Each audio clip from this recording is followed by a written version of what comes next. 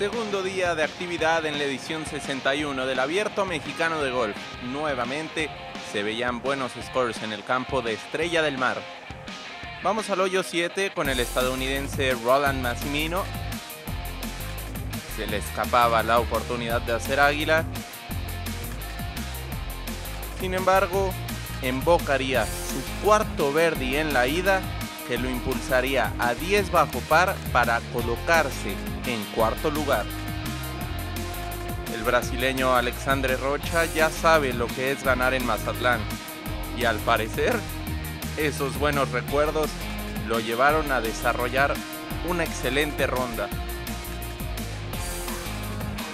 Siete verdis y un bogey en el segundo día lo hicieron escalar 18 posiciones y con total de menos 10 empata el cuarto puesto.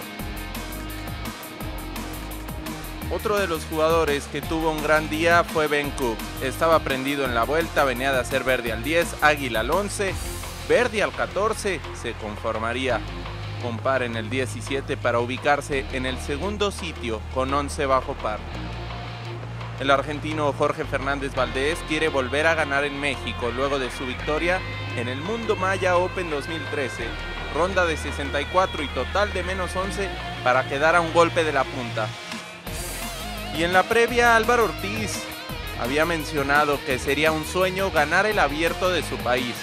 A pesar de las condiciones ventosas, pudo registrar otra buena tarjeta.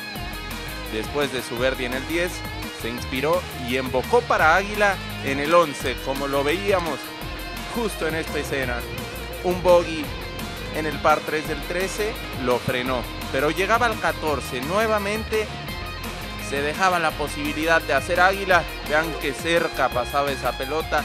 Todavía tendría que trabajar para sacar el birdie, para tomar el liderato con total de 12 bajo par, embocaría esta pelota.